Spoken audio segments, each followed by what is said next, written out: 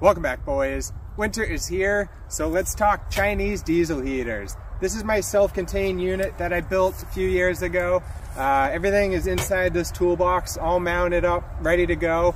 You show up to wherever you want to go, open it up, turn it on, and you have heat.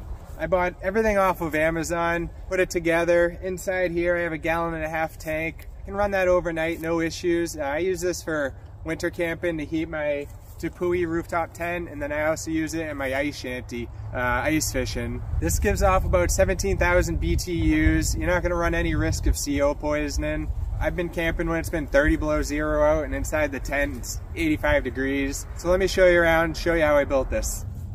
So this is a toolbox I got off Amazon. Uh, I made a couple of modifications, mounted the diesel heater inside. So open it up, you're gonna have everything you need. You're gonna have the dryer vent, you're gonna run that right up into your tent. You're gonna get fresh hot air. You're gonna have all your wires, plug it in. Uh, you're gonna have your control as well as remote. We have the fuel tank mounted inside. Like I said, this holds a gallon and a half of diesel.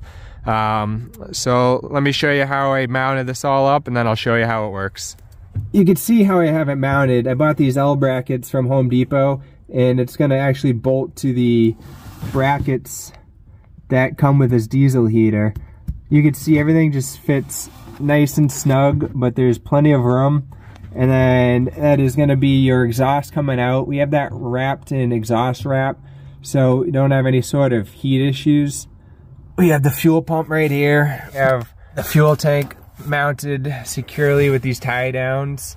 So right here is gonna be the warm air coming out of the heat exchanger up into your tent. I used a hole saw, cut a hole through that, and then I used the provided uh, hardware that actually came with You're gonna take your dryer vent, put it right over that, and tighten down this hose clamp. And then that's how you're gonna get the warm air up into your tent.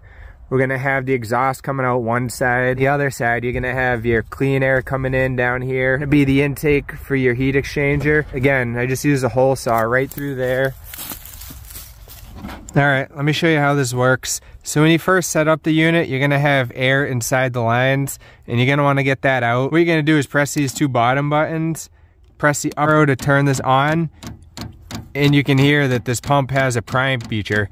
So it's pumping any air that may be inside the line out. Once that's done, just hit off, hit the on button, and you'll hear the unit start to warm up. It takes a couple of minutes before everything starts working. You'll hear this fuel pump turn on, and at that point, it'll be good to go.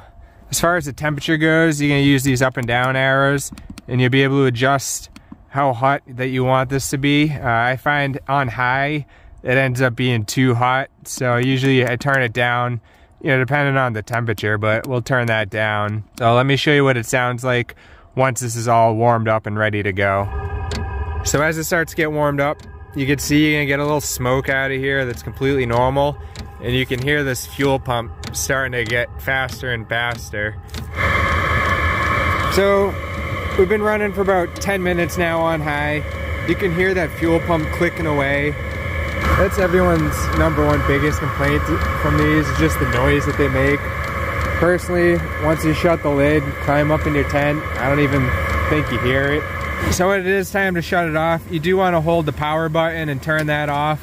It goes through a cool down mode and it's gonna allow everything to cool off before it just shuts off completely. Like I said, longevity wise, you're gonna wanna do that, allow it to cool off properly. I've been using this three years now, no issues. Everyone's biggest complaint about this is the noise. I don't mind the noise. I'd personally rather that than any type of CO poisoning. Thanks for watching. Any questions, leave them in the comments. Until next time.